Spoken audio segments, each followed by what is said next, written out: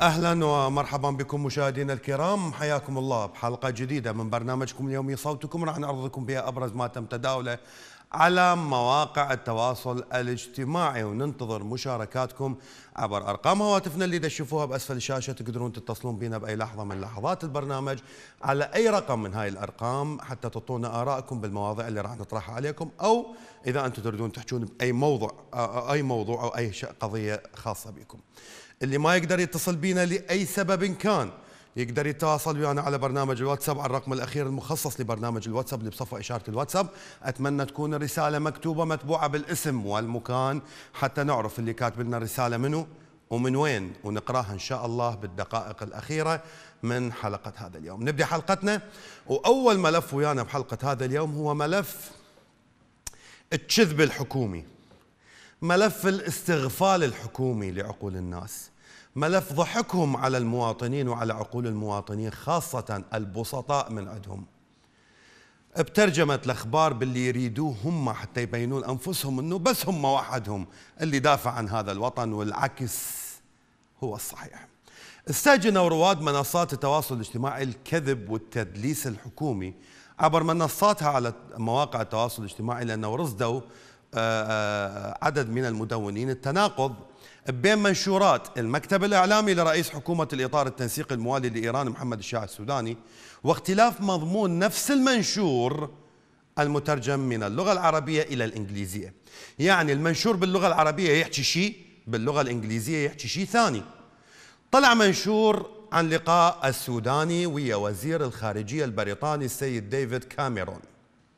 على هامش مشاركة سيادته بمؤتمر ميونخ للأمن لعام 2024 اللي انكتب به أنه تحدث عن سيادة العراق ومساعي الحكومة إلى إنهاء وجود التحالف الدولي به لكن هاي الفقرات ما موجودة بالمنشور اللي كان باللغة الإنجليزية. إحنا جبنا لكم المناشير أمامكم حتى تشوفوها.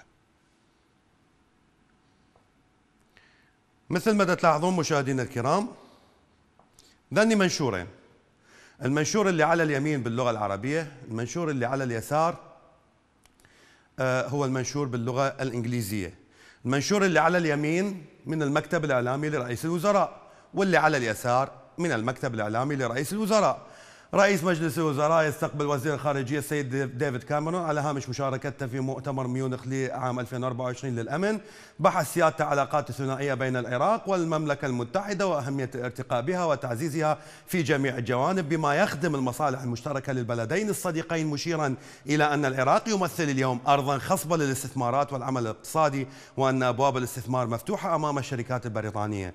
وأكد أن الحكومة تسعى إلى تنظيم العمل مع التحالف الدولي والذهاب نحو إنهاء وجوده في العراق والانتقال إلى العلاقات الثنائية المتعددة مع دول التحالف بينما المنشور باللغة الإنجليزية Prime Minister محمد شياع met the UK Foreign Secretary David Cameron at the Munich Security Conference they discussed enhancing bilateral relations uh, and facing Iraq potential as an investment hub Al-Sudani welcomed the British companies to explore op opportunities in Iraq الموضوع اللي هنا إنه هم حاكيين عن الاستثمارات وحاكيين عن العلاقات فقط.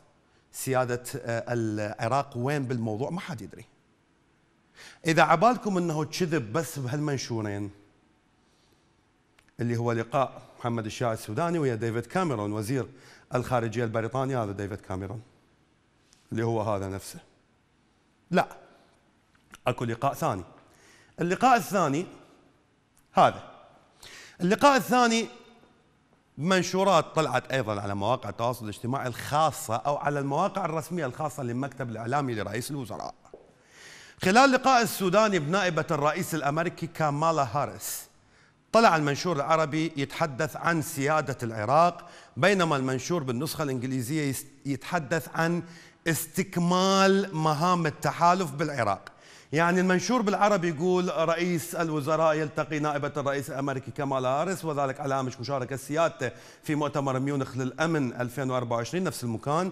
مناقشة الانتقال بالعلاقات بين الولايات والعراق إلى مجمل أوجه التعاون الثنائي المشترك في المجالات الاقتصادية والتنموية كافة ضمن اتفاقية الإطار الاستراتيجي بين البلدين. وجدد سيادته موقف العراق الثابت إزاء السيادة على الأرض العراقية. كونها من المبادئ التي لا يمكن التهاون بشأنها أو التفريط بها تحت مختلف الأسباب والظروف.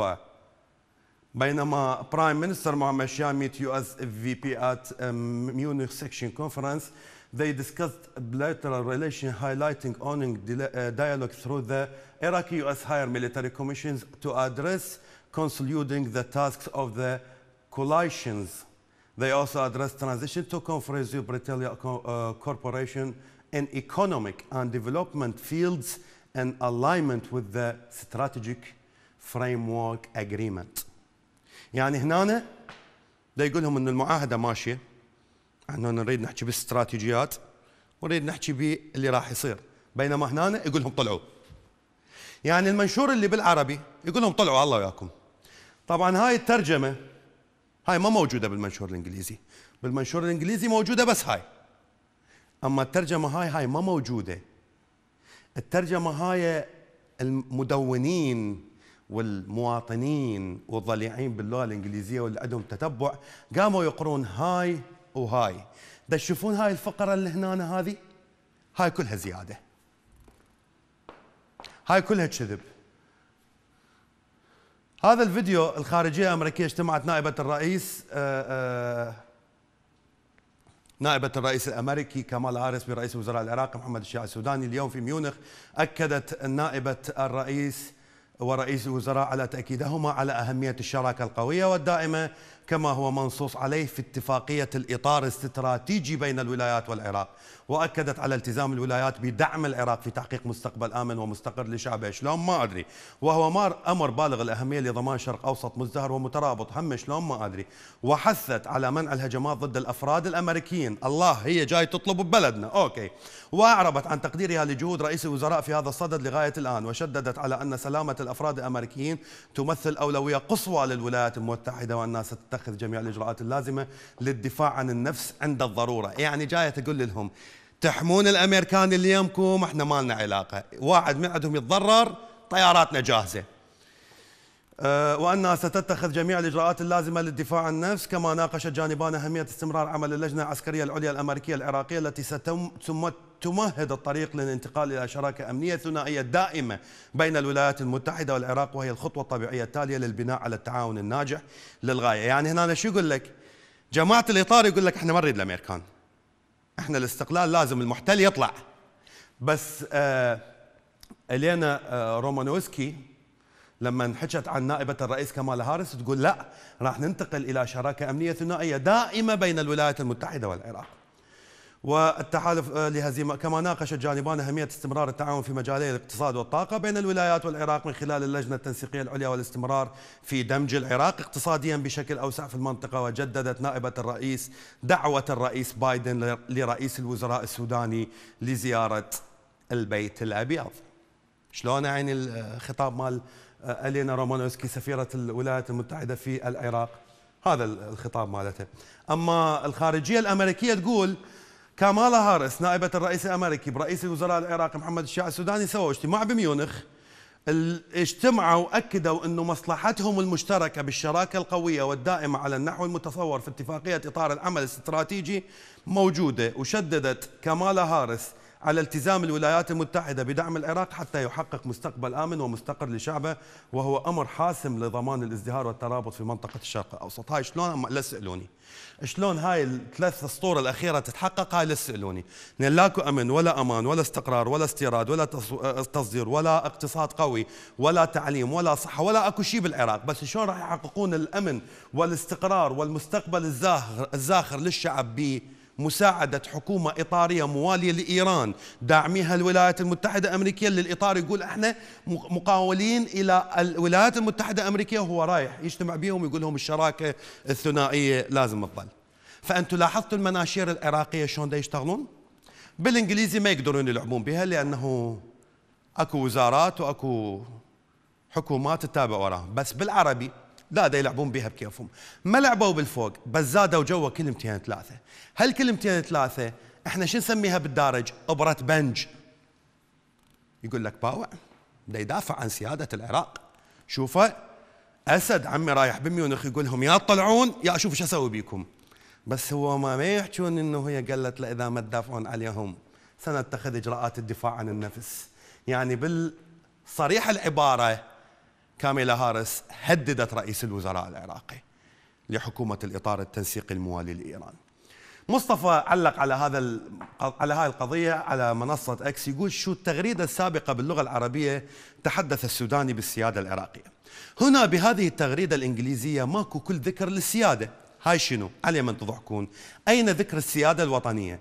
مكتب السوداني ترى حتى اللي ما يعرف إنجليزي يقدر يترجمها للعربي وفعليا صحيح أكو في كافة المواقع الرسمية خصوصا بعد آه، التطور التكنولوجي الحالي في عام 2024 نقرأ انقر أو ترجم إلى اللغة العربية قلب أي مقال أي شيء ترجم إلى أي لغة أنت تريدها بالعالم ويقدر يقرأها بالعربي.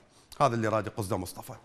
الدكتورة هيفاء المهداوي تقول لا أمان بالعراق وللجميع بتواجد الميليشيات المسلحة في العراق مما يستوجب تنظيف العراق من كل هؤلاء الميليشيات الحقيقية.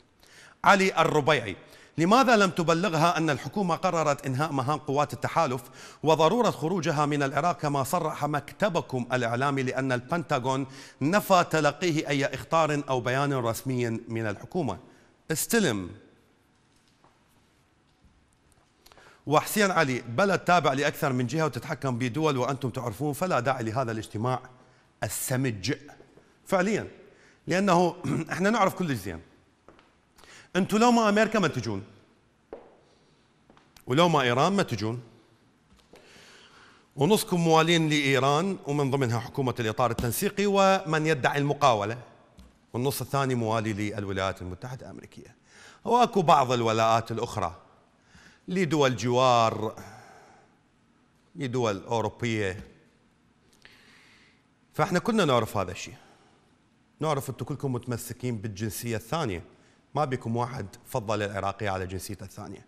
أغلبكم يمتلك جنسية بريطانية وأمريكية وفرنسية وإيرانية و واي هولندية بلجيكية نمساوية فنزويلية.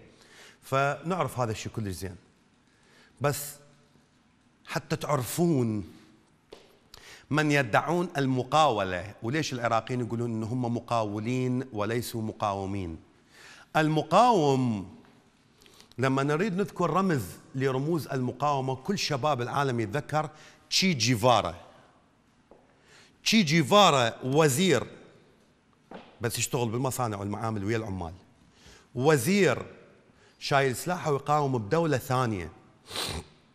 قاوم الاضطهاد قاوم الدكتاتورية قاوم الظلم حاول بشتى الطرق أن يحرر هواية بلدان. وحارب بأكثر من دولة. إلى أن أصبح تشي جيفارا رمز إلى كل ثائر.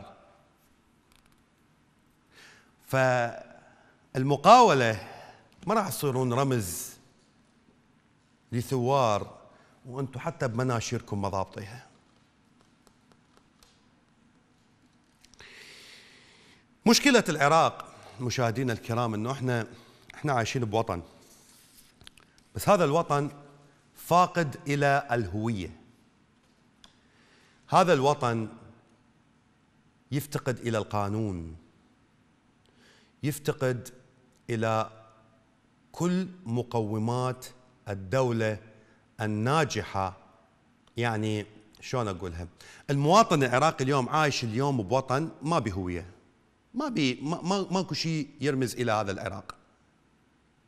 كلمة صنع في العراق أو شيء يدل على العراق منتهي. اليوم المواطن العراقي لا هو آمن خارج البيت ولا هو آمن بداخل بيته. ودا تشوفون آه، آه، اليوم إنه العراقيين عايشين في فيلم أو مسلسل رعب مستمر من عشرين سنة.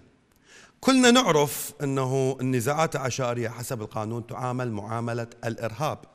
لكن أكو فعل على أرض الواقع للتقليل منها لا. اليوم أكو نزاع عشائري يتسبب بقطع الطريق الدولي السريع بالقرب من تقاطع قضاء البطحاء غرب مدينة الناصرية في محافظة ذي قار. النزاع العشائري اللي وقف الطريق السريع كله. هياته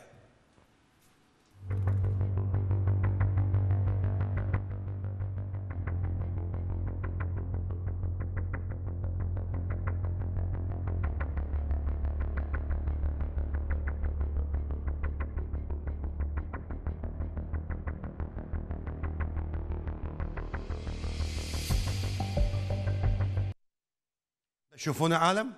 واقفه تنتظر اللي يريد يروح لأهله اللي جاي من البصرة ويريد يروح لبغداد اللي يريد عنده بضاعة يريد يوصلها اللي عنده شغل مهم اللي عنده معاملة اللي عنده مريض ذولا كلهم واقفين.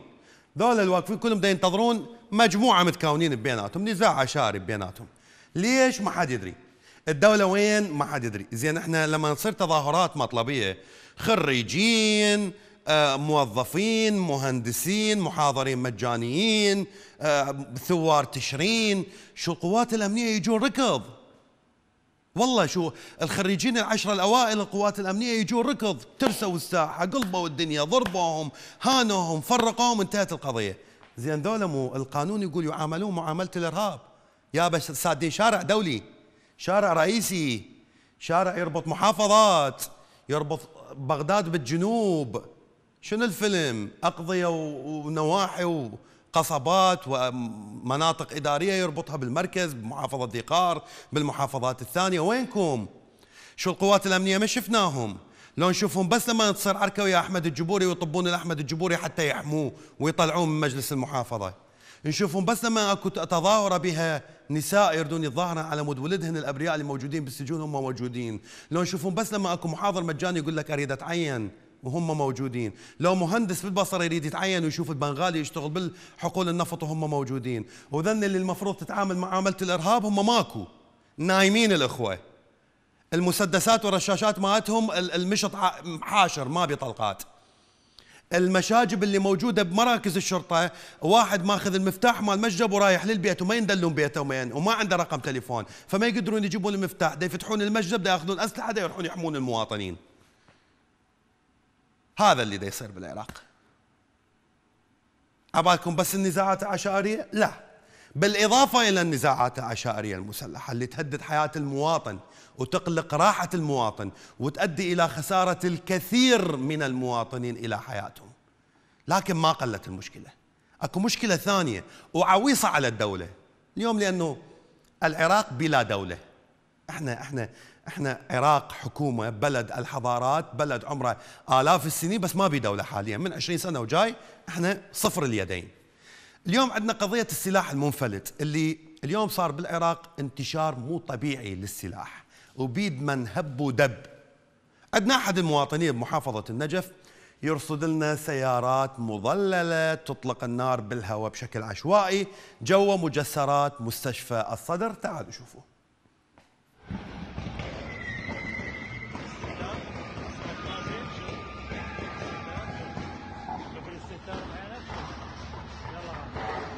الحكومة بارك الله فيكم. يلا غاتي. لو فقيرك واحد يسوي هيك شيء هاك شوف يلا. استلم عين استلم. تشي بالله.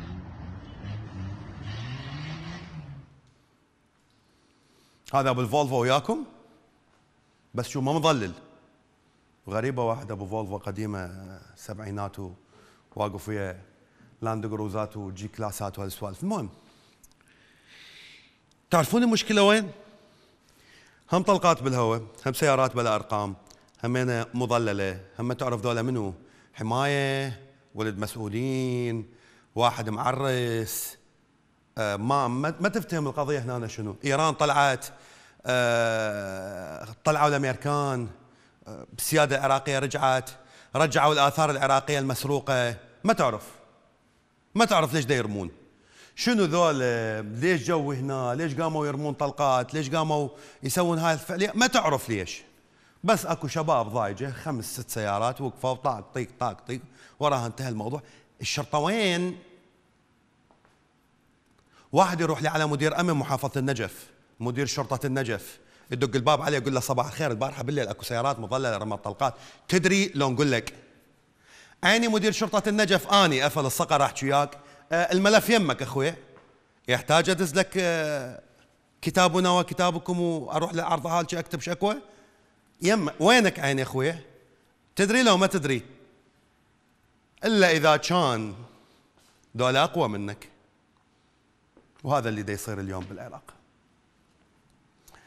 الناس لما شافت هاي الفيديوهات علقت صفاء اللامي على فيسبوك يقول بلد تايه لا حسيب ولا رقيب. وصلاح الطائي هذا حال البلد من تحكم العصابات والمافيات. حيدر الكاظمي يقول خوش دولة قانون مال كلاوات وكاظم عبد علي سبع الزياد يقول وين مدير الشرطة؟ وين المحافظ؟ وين رئيس الوزراء؟ كلكم أبطال بس على الفقير. وهذا اللي يصير. القانون يشتغل بس على الفقير. الشرطة تشتغل بس على الفقير. ال الناس تخاف. ما حد يندق بيهم. دول الفقراء. أما اللي عنده ظهر بعشيرة بميليشيا بسياسي بفاشينيستا. يعتدي على الطبيبات اسنان وابوهم شركه سياحية. يضربون مرة بالشارع. هذا عادي. ليش؟ لأنه ما حد يقدر يحكي وياهم. ليش؟ لأن ظهره مسنود الحجي والخال. وحج الشايب وقال الحجي وقال الخال وقال الأستاذ.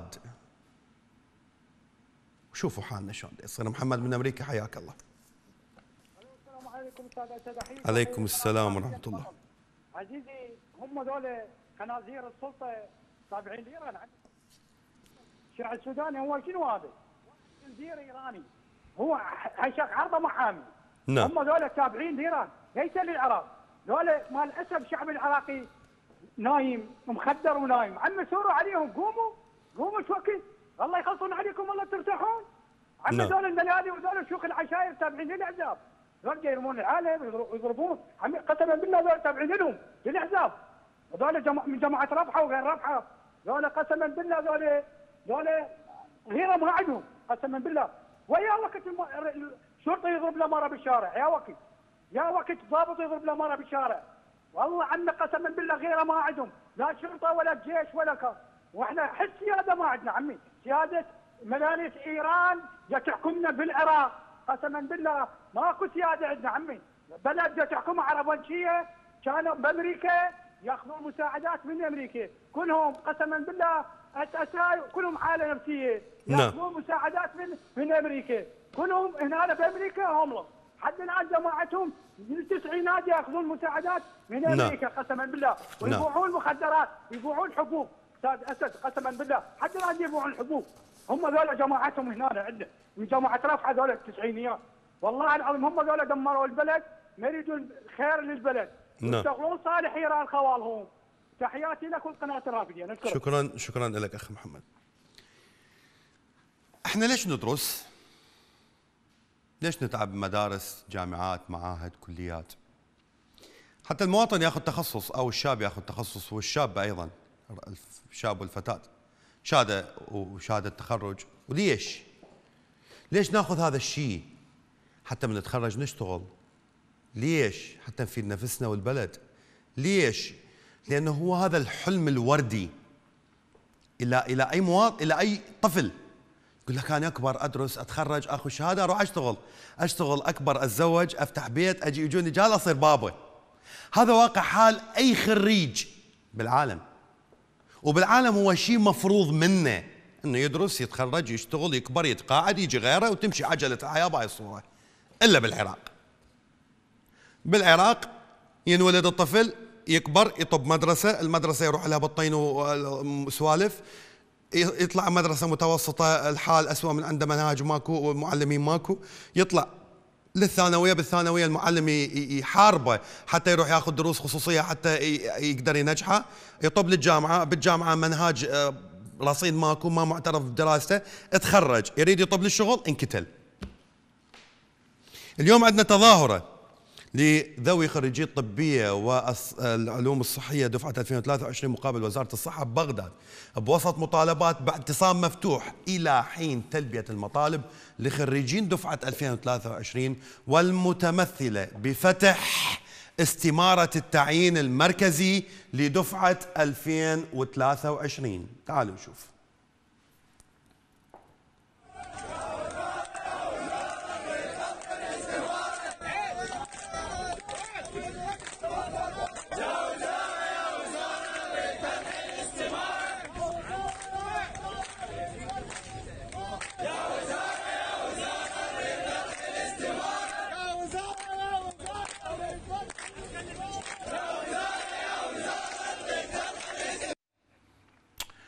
هي المشكلة أنا مو دفاع عن عن عن ذولا حقهم. هذا متخرج يقول لك أنا أريد أشتغل.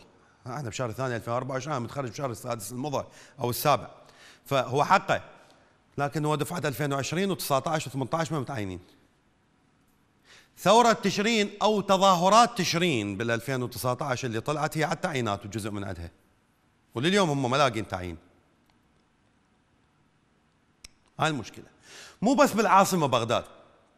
ولطلبة الطبية. لا عندنا تظاهرات ثانية في آه، آه، كل محافظات العراق ومو الفترة اللي طلعت بها هي هاي التظاهرات إذا تشوفوها. لا هاي التظاهرات آه، من زمان صايرة تطلع وذني تحديث عليها عندنا تظاهرة لعدد من الخريجين أمام مبنى ديوان محافظة ذي قار للمطالبة بشمولهم قرار الاستثناء بالتعيينات بظل ارتفاع معدلات البطالة وعجز الحكومة عن تأمين أبسط الحقوق للخريجين. تعالوا نشوف.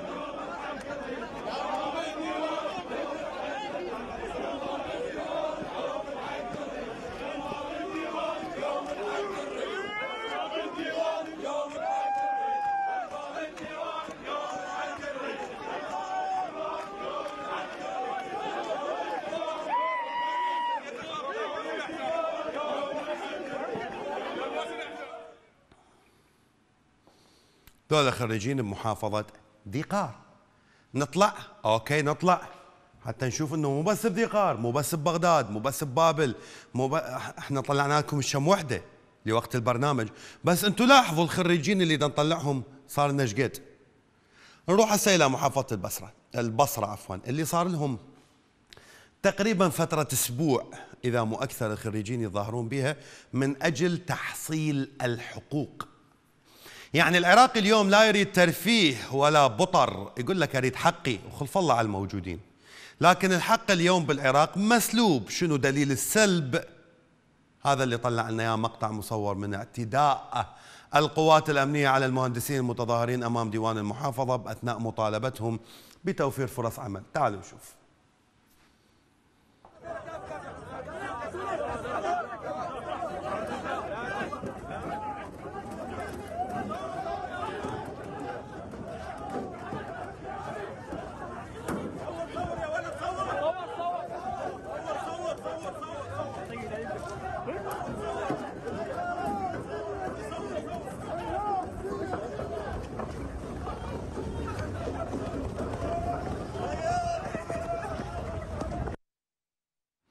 اكو شرطي بالبداية طلع معصب عيني فدوى صندحتك أريد أسألك سؤال. لو ابنك واقف ويا ذول المهندسين تضربه؟ أو إذا أنت ما متعين ما عندك شغل وما عندك راتب وعندك أحلام تريد تحققها عندك طموح تريد تسويه بالمقابل تشوف البنغالي يشتغل والهندي يشتغل والكوري والصيني يشتغل وراتبه 65 و70 ورقة بالشهر وياكل ويشرب على حساب الشغل وينقل على حساب الشغل وينام بمكان على حساب الشغل ومرتاح هو وأهله إن كان ببنغلاديش إن كان بالهند إن كان بالصين إن كان بكوريا. وهذا حال المواطن العراقي. تجي تضربه. هذا الشاب اللي يقول لك اني ابن هالبلد. فلوس البلد أنا أحق بيها. تضربه خريجة تهينها وتضربها. مرة تمد إيدك عليها شاب تمد إيدك عليه أريد أسأل سؤال. دولة شرطة محافظة البصرة طبعا تظاهرة المهندسين بالبصرة هاي مو أول مرة نطلعهم ولا أول اعتداء يصير عليهم. لكن آه لو هاي التظاهرة تذكرون قبل شوية تقاطع قضاء البطحاء طلعنا نزاع عشائري والعالم واقفة على الطريق السريع. ده تنتظر؟ لو هذا القطع صدقوني لو هذا القطع بتقاطع قضاء البطحاء بمحافظة ذي قار بالقرب من مدينة الناصرية طالعين بيه شباب مثل ذول الشباب يتظاهرون على الطريق السريع الدولي حتى يلقون تعيين بأي مكان لا القوات الأمنية يطلعوا لهم من كل صوب وكل حد. بس نزاع عشائري وبإسلام إحنا شلنا علاقة. خاف تجينا طلقة تايهة. تشوفون العراق؟ هذا حال بلدنا هذا حال عراقنا الحبيب. يوسف كاظم يقول الحقوق تؤخذ ولا تعطى لن نسكت بعد اليوم. كفى تسويفا وكذبا. وعبد الله بن العز التكريتي يقول صار لي عشر سنوات والله لا تعيين ولا عقد ولا محاضر ومن الأوائل كل ما أقدم رفض وين نروح فلوس ما عندي. شيل التكريتي تتعين. إيليا علاء مطلبنا شمول كافة خريجي ذي قار بالاستثناء. هاشتاج نعم للحقوق هاشتاج كلا للتهميش. ومصطفى حسن استثناء المتظاهرين واجب وطني هم أصحاب الحق. ذولا. ذولا شبابنا. شاب يطلع يظاهر يقول لك اريد اتعين ينضرب. شايب يطلع يظاهر يقول لك آني راتبي التقاعدي. ما مكفيني يجون الشرطة بوجهها راسا. عاطل عن العمل يطلع يقول لك أريد أنشمل بالرعاية الاجتماعية تجي الشرطة راسا. قوات مكافحة الشغب بالمرصاد. بس نزاع عشائري سيارات مظللة تضرب طلقات ميليشيات بيناتهم يتضاربون بالبصرة مثل عصائب والسرايا لا هذا عادي هاي من مظهر من مظاهر الدولة الحديثة الجميلة المريحة ومظهر من الأمان ومظهر من الرفاهية العالية لأنه مقياس الرفاهية الدولية أن يكون الرصاص يطلق في الهواء علنا سيارات بدون أرقام وسلاح منفلت ونزاعات عشائرية. متى ما كثرت النزاعات العشائرية إن شاء الله راح يكون جوازنا رقم واحد بالعالم. هيك ينظروا لها الجماعة. أبو علي من الديوانية حياك الله. حياك السلام عليكم. عليكم السلام ورحمة الله. حبيبي الكريم تنوع للشعوب المحيطة بالعراق نعم. الرفاهية واللبسة والنظافة. نعم. وتنوع للشعب العراقي. نعم. شوف الرفاهية اللي عندنا وشوف الفخر اللي قاعدين به نعم. قاعد نصارع لجل البقاء يعني رجل نستمن هو يعني نصارع بالعراق. نعم. مستشفى عندنا بالديوانيه بي 40 كادر حبات وجع راس ما بيه. لوين نسوي المستشفى أنتم؟ نعم. طلع مو عادي إحنا من واحد يقول أنا فشلت مو عيب من يقول أنا رئيس وزراء فشلت مو عيب من المحافظ يقول أنا فشلت هذا مو عيب ترى. نعم. وزير مو عيب من يقول أنا فشلت حزم يطلع من يقول أنا فشلت وفشلكم مو منكم تهمة. فشلكم على واقع موجود. الزمن الطاغية اللهم نعلى حصار كهرباء مجانا. صحة ما يبي جو الفرات تجري. هسه بدولة الديمقراطية ودولة الرفاهية لا ماي لا كهرباء لا صحة. بس الضرائب حصتنا. ليه السفارة فاتحين ببغداد سفارة تركيا سفارة ايران سفارة روسيا والعراق قاعد يتحاصر مائيا. يعني الشعب قاعد يقول لك يقول لك إحنا لسه عطش. يعني الطبقة الفقيرة أغلبية 70% انتهت بالعراق. يعني مبارك عندنا بس التيار والايطار دولة. بس دولة مبارك إحنا حاطينهم من الله ينتقم من عندكم. ومن الساعة السوداء اللي جيتونا بيها ومن ننتقم كل واحد دعانا للانتخابات وانتخبنا هيك ناس قدره. والله العزيز بالنسبة لي يعني أتمنى الموت اليوم الباشر لأن ما عشنا بالعراق براحة. هاي وحدة. والله العزيز هذا اللي اللي بنفسي واللي بصميم كل عراق اللي يحش بالضيف ياخذنا الصبح ويجيبنا الليل. يعني بس نعيش يعني ما يعني هالضرائب هاي كهرباء ماي ما تشتري مشترى يعني ما نعم. في شيء لازم إحنا نركض دوم. إلى متى؟ أغلى دولة بالعالم. نفط للأردن ونفط لتركيا ونفط لإيران وإحنا من تحت الواد وادينا. بس لا ترحمونا لا تخلوا رحمة الله تنزل. عم تجيبوا إسرائيل تجيبوا أي دولة تحكمنا نعم. والله يشرف من عندكم. وتوفوا بعدها 20 محافظ حتى بالديوانيه كل محافظ اشترى له دولة بالخارج. ما نعم. اجى السودان حاسبه ولا اجى الإيطال حاسبه. تحاسبوا الرجال لكهربات يقطعون كهرباته. نعم. اللي اللي اللي مريض ما تعطونه حبات وجعلات نعم. جزاك الله خير نعم. الجزاء. هذا زعلتك أنا. نعم. لا العفو العفو أبو علاوي. شكرا شكرا جزيلا لك. الفلاح العراقي اللي أصولنا كعراقيين فلح. بلد كان يعيش على الزراعة من غابر الزمان. المهم الفلاح العراقي يعاني ما يعاني. نتيجة الإهمال الحكومي فما بالك إذا كانت عندنا عواصف مطرية. تعرفون الأيام المضت صارت أكو عاصفة بالعراق. أحد المزارعين من محافظة صلاح الدين يفاجئ اليوم بتواجد ممرات نفطية بداخل مزرعته ويتبرع بحصته من النفط العراقي بعد اقتحام سيول النفطية مزارعة. هاي السيول النفط قادمة من حقول عجيل وعلاس وبوسط انتقادات إلى الحكومة عن إهمالها لمعاناة الفلاحين. مزارع المواطنين حقول نفطية. تعالوا نشوفها الله يرحمنا مطر للمزارعين. المطر جانا رحمة بس ال- الدولة ما خلت بيه رحمة.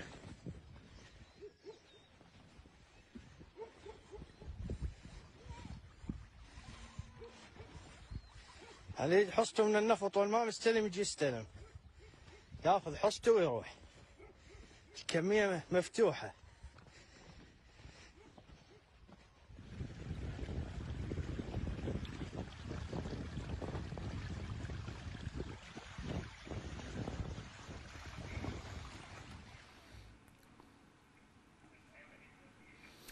دولة الكفر والطغيان الولايات المتحدة الأمريكية تحصل في بعض الأحيان إذا تتذكرون بالمحيط تسريب نفط بمكان ما. يركضون البيئة ولجان المحافظة على الحيوان ولجان الرفقة بالحيوان والزراعة والما أدري شنو والدولة والوزارات والحكومة وخفر السواحل كلها تركض. الأخبار تنقلب يوم ويومين وتلاقي أكو تسريب من باخرة أو أكو تسريب من أنبوب. يشتغلون. بس حتى يحدون من التلوث. ليش يقول لك أكو بيئة بحرية جوا ما نريدها تتأذى؟ أكو ما أعرف شنو جوا ما نريدها تتأذى. عمي تعالوا شوفوا كل فترة وفترة. زي مو هاي القاع اندمرت. هذا المي إذا وصل لأي مكان هسه من هاي الخضار اللي تشوفوه مات. خلاص انتهى. وبعد ما يصلح للزراعة. إذا النفط طب للمزارع بعد ما يصلح للزراعة. أكو إجراء لازم يسووه الجماعة يلا يصير. نطلع إلى قضاء المجد بمحافظة المثنى. طالبوا عدد من المزارعين أن يكملون مشروع إروائي واللي من المفترض أن يغطي حصصهم المائية. يعني اللي تسبب هذا الشيء تلكؤ المشروع التأخر وصول الماء هذا خسرهم الموسم الشتوي وأكدوا انه استمرار تجاهل مطلبهم راح يستمر ويتسبب بخسارتهم إلى موسم الصيف. يقصدون به هو محصول الصيف المقبل. تعالوا نشوف. بس ثبت إنه بالت- بالتندر اللي موجود عند المقاول اللي يشتغل عليه ما الناحيه السماعية بالتندر اللي يشتغل عليه وبالشركة. لا أكو لافته بالمشروع ولا أكو كلفة بالمشروع ولا اسم المشروع ولا اسم المقاول. يعني يعني أمور غامضة. يعني الأمور نجهلها إحنا. ما عندنا أي أوليات عن هذا المشروع. طالبنا. إحنا هذا المشروع كان يسقينا هاي المنطقة يسمونها دنائب ال- ال- الفتحة والنجارية. هاي المنطقة ما كان يوصلنا مي.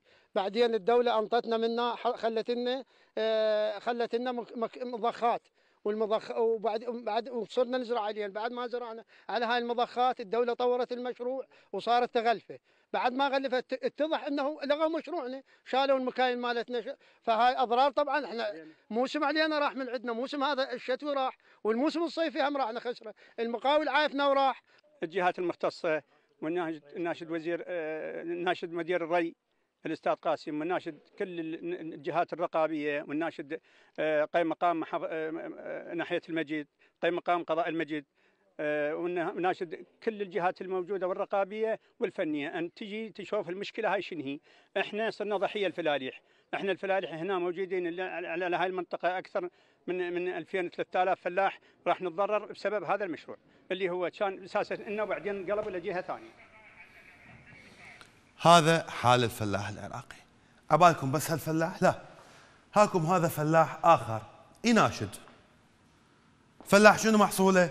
طماطة بعض بلدان الوطن العربي يسموها طماطم بعضهم يسموها بندورة. ودول الخليج يسموها طماط. هاي الطماطة العراقية. يقول أنا أريد أناشد المسؤول يابا افتحوا لنا المجال حتى نطي محصولنا بالسوق. ننزل المحصول مالتنا ونسوقه ونقدر نبيعه وإحنا نستفاد والمواطن يستفاد ونقدر نرجع نزرع بها مرة الأخ. يابا منعوا استيراد المنتجات الإيرانية على وجه الخصوص حتى تشجعون المنتج المحلي. هذا شنو ذنبه هذا الفلاح؟ يزرع ويحصد ويتعب ويشقى ويوم ويومين وثلاثة وينتظر على ما كبرت الشجرة الشتلة على ما حبلت حملت الشتلة على ما طلعت الطماطة على ما خضرت على ما احمرت على ما حصدها على ما صفطها على ما جابها. وتاليتها هذا حالها. خلونا نسمع. زرعنا. شوف الزرع خير من الله. الطماطة هاي راس وشعب ليش يطلبون علينا؟ ليش طماطتنا ما حد يشيلها اليوم؟ والإيرانية تاسه والمستوردة تاسه السوق. شوف شوف والفلالي خطيها خسرانه ذاك على مساحه 20 25 مليون والله في ناس عندنا 40 مليون خاسر إحنا ردناها من بس الشهرين هاي. بس هي هاي. بس عين الفلاح. المشتري يشوف الطماطم ويشتري. يأتي شوف قال مستورده طابة. تاس الشمال وعبر على بغداد. حتى للجنوب راح أطلب. هي هاي هاي تاليها قول للفلاح قل له يا عم اللي في راسك هنا بعد لا تزرع. وخلي الناس شي تردم يمشي. الناس كلها مطلوبة.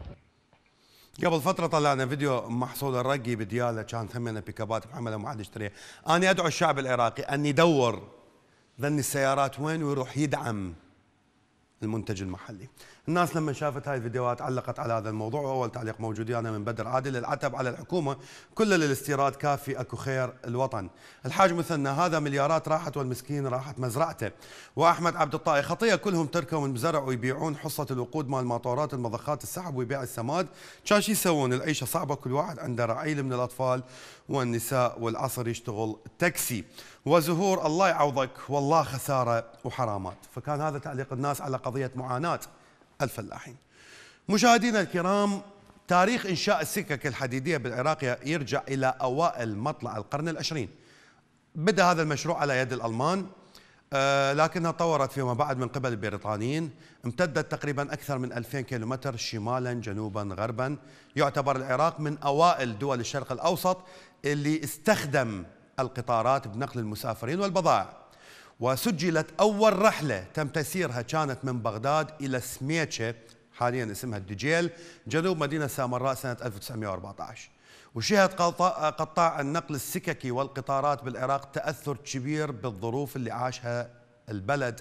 بعد الحصار الاقتصادي بتسعينيات القرن الماضي وما فرض من فقدان قطع غيار لازمة لإدامة هذه الخطوط واعتماد مواد محلية الصنع كبدائل ضرورية قبل أن يفقد هذا القطاع الحيوي مكانته بسبب التراجع نتيجة الإهمال بعد الاحتلال. تفاصيل أكثر بهذا الفيديو اللي سواه قسم التواصل الاجتماعي.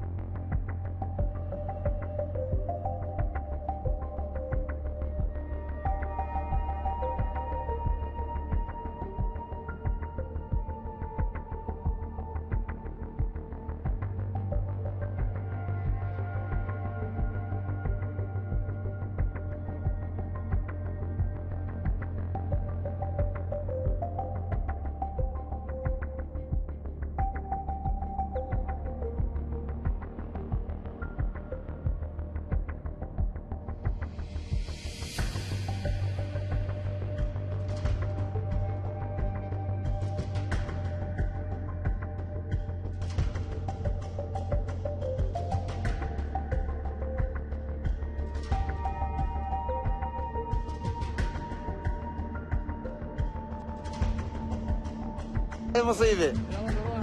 أبو القطار يعطيهم مجال للسيارات. هذا يا زمن يا والله والله عم معك مصيبة هاي. شكرا لقسم التواصل الاجتماعي. لاحظتوا بالفيديو الأخير يقول له أبو القطار يعطي مجال للسيارة. ما يستحي أبو القطار يريد يمشي ويعرف السيارات ما تمشي؟ أكو سيارة حماية واكو واحد مسؤول أكو واحد ابن مسؤول يريد هو يعبره؟ مو عيب. هذا حال بلدنا. مترو بغداد يمشي وربط السكك يمشي بس قطارات العراق طبهم مرض. نلتقيكم على خير إن شاء الله بحلقه جديدة من برنامجكم اليومي. صوتكم باذن الله باكر. بنفس الموعد ومواضيع جديدة. في أمان الله.